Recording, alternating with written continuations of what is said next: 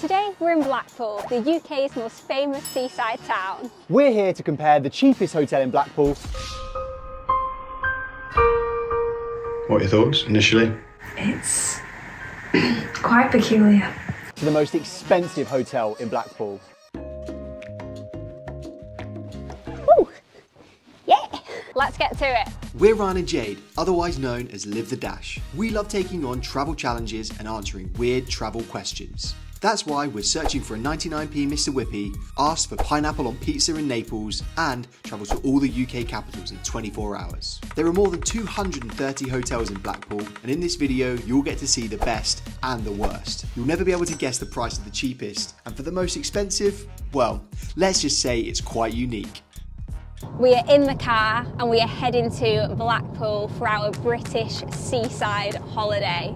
This is my first time in Blackpool in a little while and we couldn't have picked a sunnier day for it, so I'm very excited. Blackpool used to be the place to go to if you were going on a holiday in the UK. Millions of people would descend on this beach throughout the year, staying in all the hotels, going to the pleasure beach, watching the ballroom dancing. But in the 1960s, the introduction of budget airlines and cheap package holidays meant that people stopped going to Blackpool. So we're heading there today to check it out. Apparently, over 10 million people every year used to go to Blackpool. And bear in mind, that was probably bigger than the population of London. So this is like the second most popular place in the UK at one point. The place has obviously fallen on harder times in more recent years. It's not as popular as it once was.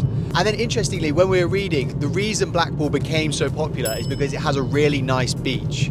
Apparently bathing in the sea wasn't always that popular, but as it became more popular, that is why Blackpool became really popular because people went there to go in the sea. We're 13 minutes away from Blackpool now. It's just an hour drive from Manchester, so not too far a journey today. I'm a little nervous about the cheap accommodation. In fact, I'm a little nervous about the expensive accommodation as well, to be fair. Blackpool can always throw some weird things at you, so in 12 minutes' time, we will be in Blackpool.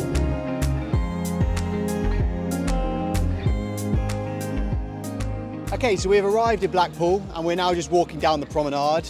The Big Dipper is just behind us.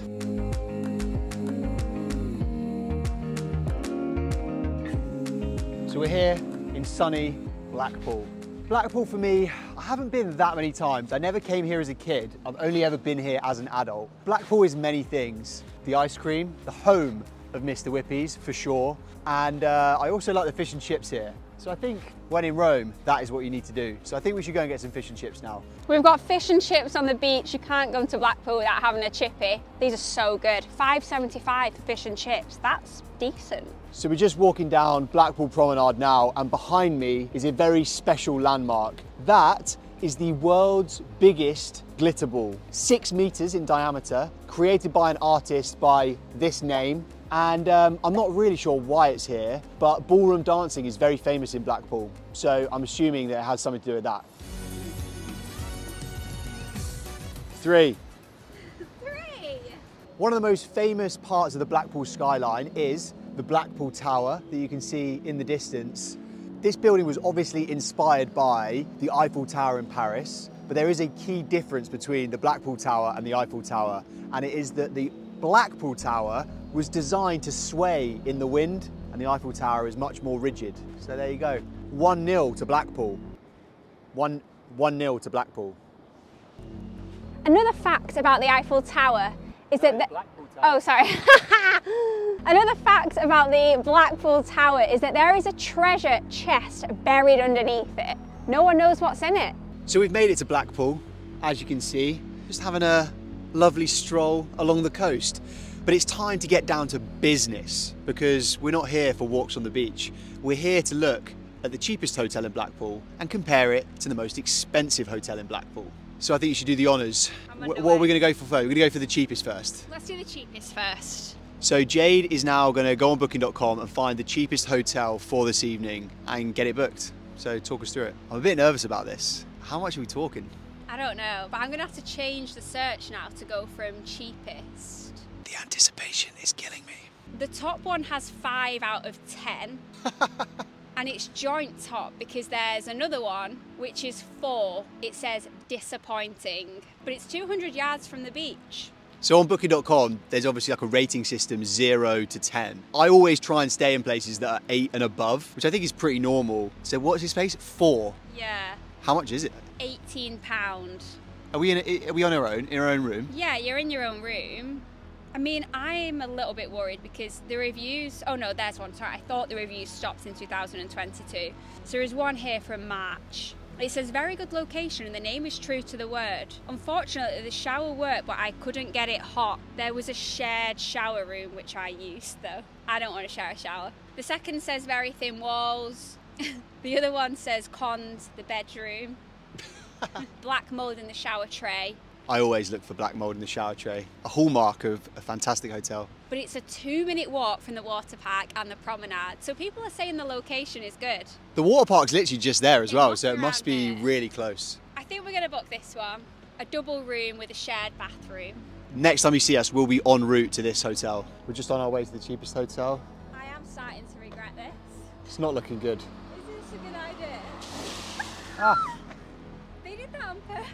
This isn't it, is it? That looks awful. Behind me is the cheapest hotel in Blackpool. I'm a little bit nervous to go and check this place out. It did only cost £18 a night, but let's see what it's like.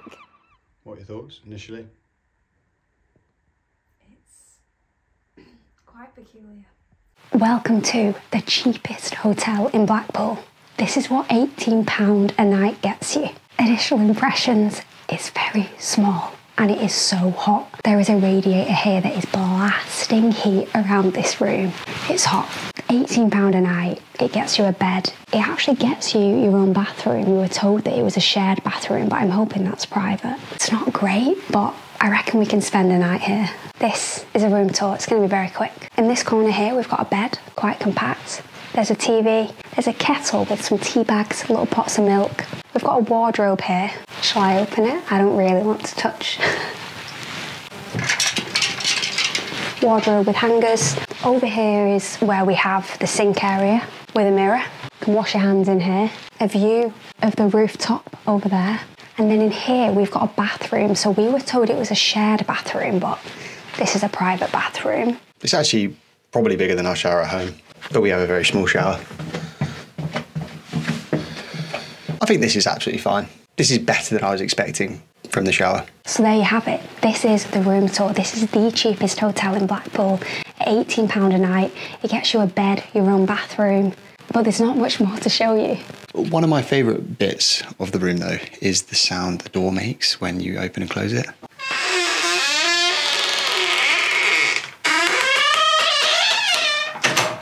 Let's hope there's not anyone coming in late at night or early in the morning. It's going to be a long night. Don't say I don't treat you to the finest places in life. I quite like it here. You know what? After the initial shock is over, this place is actually pretty cute and, you know, it's charming in its own way. Do you think? I reckon so. Yeah. Could do with a clean though. Is this the worst place I've ever stayed? Okay, that was an experience. I think it's time we had a bit of luxury in our lives. We're now going to try the other end of the spectrum and we're going to head to the most expensive hotel room we could find today in the whole of Blackpool. Oh, I stood in the poo. Oh no. Oh no, we're both stood in dog poo. We have left the cheapest hotel in Blackpool behind and we are now about to find the most expensive hotel in Blackpool. This has to be better.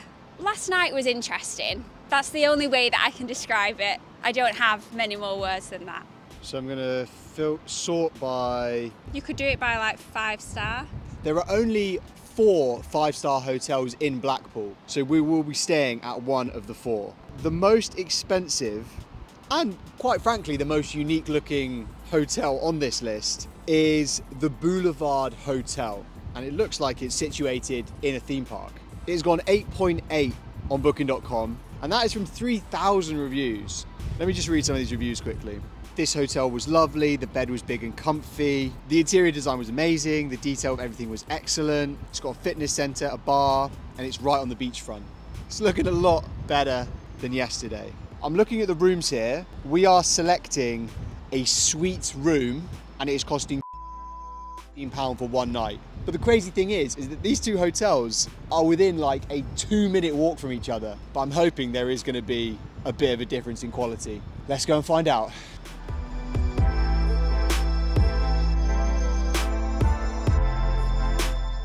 We are now about to stay at Blackpool's most expensive hotel. It's called the Boulevard and we are staying in a Park View suite. As you can see, it is a pretty unique place. This hotel sits in the shadow of Blackpool Pleasure Beach. It's probably one of the most unique car parks I've ever been in, let alone hotels. You can actually see Blackpool Pleasure Beach through these gates. I could put my hand through that gate and touch Blackpool Pleasure Beach. Touching it. I'm touching it with my hand. Touch the butt. This place comes with a high price tag because it has the park view. Let's go inside. We're about to see Blackpool's most expensive hotel room for the very first time. Oh, wow. Welcome to my crib. Come on in.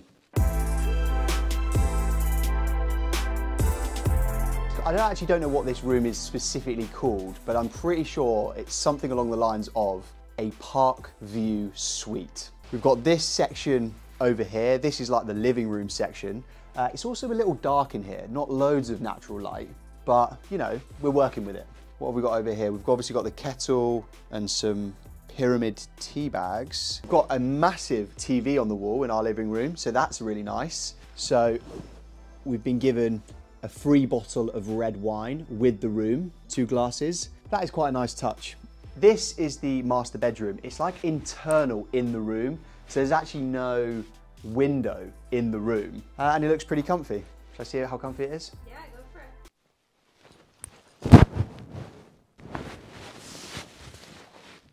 Very comfy. Yeah, there's another big TV in the bedroom as well here.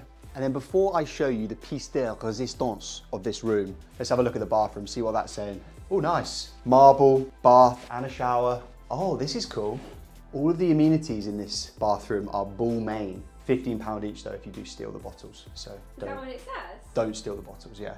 That is a full tour of this grand bathroom to the living room. There is one reason why we wanted to stay in this hotel room, and we haven't showed you that yet. It is the pièce de résistance of this room. Let me show you. It's out of the window. There are not many hotels in the world that have this kind of view, but if you look out of this window, we have a park view suite, and the park is a theme park. So if you look out of this window, you can see a massive roller coaster. As far as hotel rooms go, I would say this is one of the most interesting views that you can have out of a hotel. You have two choices, an ocean view or a park view. I would pick the park view every time. But yeah, it's quite an interesting, unique room. This room cost us £215 for one night, 11 times more than the cheapest room. Let us know which one you would prefer to stay in. Okay, we'll give it the bounce test. Woo! Yeah! a good bed. Bed and trampoline, 10 out of 10.